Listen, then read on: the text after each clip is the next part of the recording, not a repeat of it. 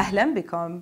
استقبل ملايين المسيحيين في الكونغو وجنوب السودان قداسة البابا فرانسيس خلال زيارة حج رسولية قام بها الحبر الأعظم إلى هذين البلدين الإفريقيين استغرقت عدة أيام وهي الزيارة الأربعون لقداسته خارج الأراضي الإيطالية.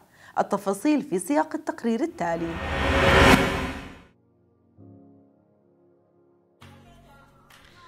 اختتم قداسة البابا فرانسيس زيارته الرسولية إلى جمهورية الكونغو الديمقراطية وجنوب السودان وقد وصف قداسته الرحلتين بزيارة سلام مسكونية وحاج للسلام والمصالحة. وقد كان شعار الزيارة إلى الكونغو مصالحون في المسيح يسوع. أما شعار الزيارة إلى جنوب السودان أصلي ليكونوا واحداً.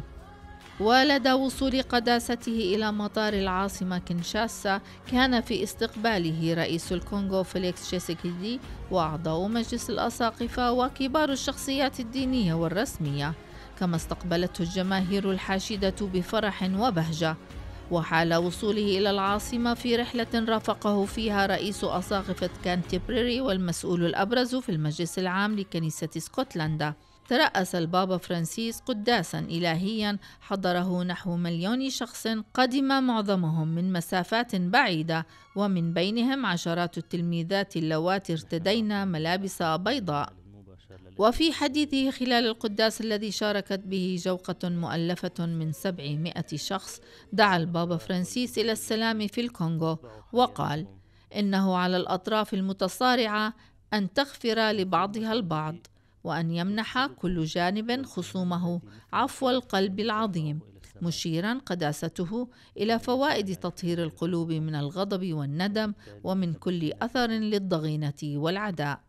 وقبيل مغادرته العاصمة كنشاسا التقى الأب الأقدس المطارنة في مقر مجلس أساقفة الكونغو ووجه كلمة إليهم معربا فيها عن سروره بإمضاء خمسة أيام في أرضهم التي تمثل بغابتها الكبيرة رئة العالم بأسره. وأضاف نحتاج إلى أن نتنفس هواء الإنجيل النقي. ونحرس قلب الإيمان الشاب والكنيسة الشابة المليئة بالحياة والتي يحركها الطوق إلى الرسالة والإعلان أن الله يحبنا وأن يسوع هو الرب. ولفت قداسته إلى أن الكنيسة في هذه البلاد تتألم من أجل شعبها.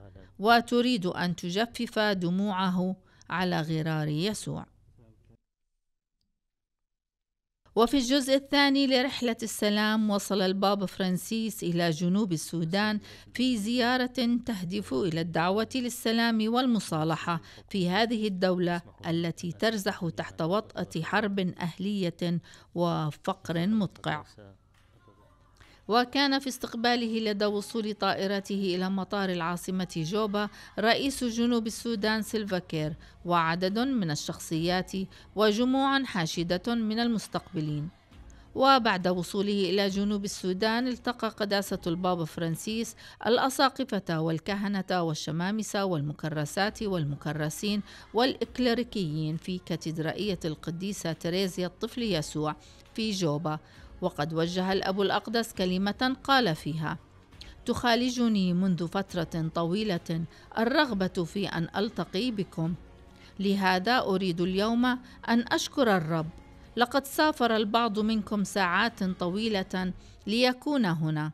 أريد أن أشكركم على ما تقومون به في وسط الكثير من المحن والمصاعب.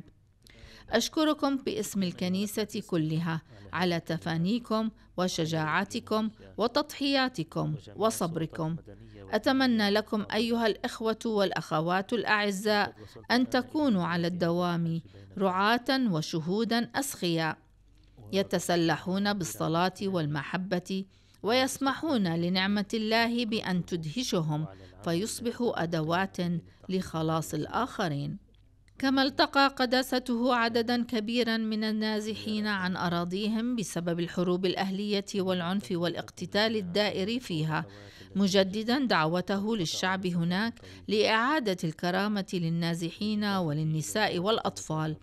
وإرساء السلام في هذا البلد الذي تقسمه الصراعات على السلطة ويعاني أهله الفقر الشديد.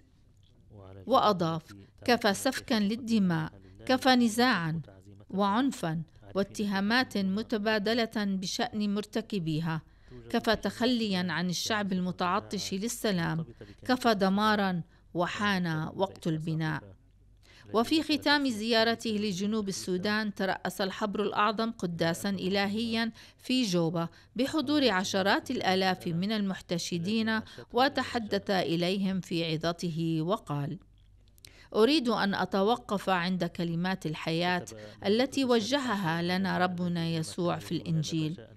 أنتم ملح الأرض الذي هو نكهة للطعام وأنتم نور العالم الذي يسطع في الظلمات. أتمنى أن تكونوا جماعات مسيحية تنير الجميع. وتظهر أنه من الجميل والممكن أن نعيش ونتحلى بالرجاء وأن نبني معا مستقبلا متصالحا. وفي ختام كلمته عبر البابا عن أمله في أن يسمع قادة دولة جنوب السودان رسالته التي ركزت على نبذ العنف والمضي نحو السلام بعد اقتتال استمر أكثر من عشر سنوات من عمر الدولة الوليدة.